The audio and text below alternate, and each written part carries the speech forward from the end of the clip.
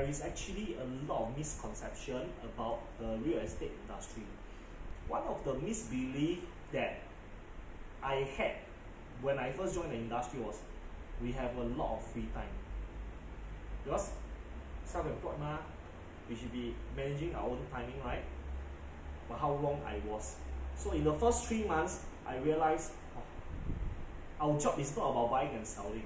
Why? Because without clients, what can we sell and what can we buy?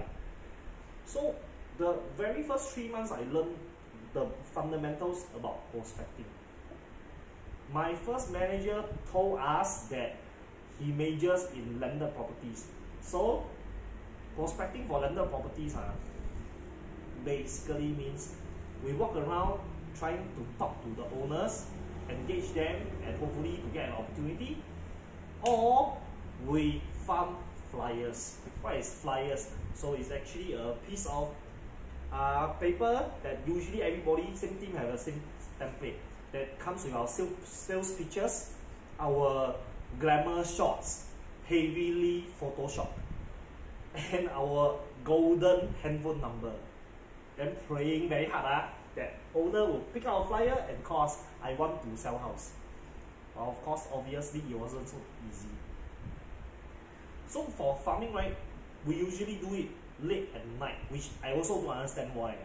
Because I thought we were supposed to engage owners, uh, but you go late at night, who who who talk to you? So I remember my first uh, first time, our whole team went at around eleven. So first time, uh, very excited. And we, we I even wanted to have a competition with them. Uh.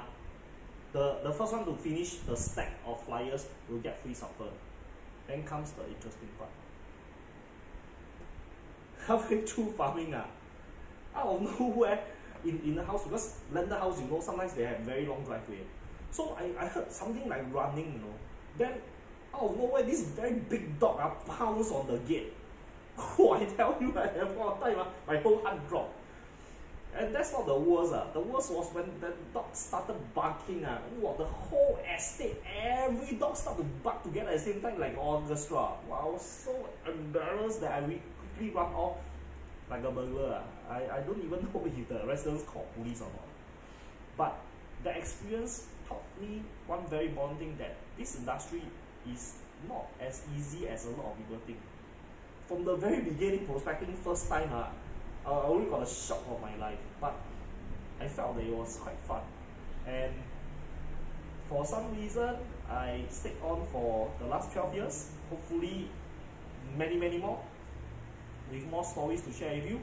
So that will be what I'll be sharing till tonight. Thank you for watching Diary of a Property Agent. I'm Jowell. I hope to see you in the next video. Bye-bye.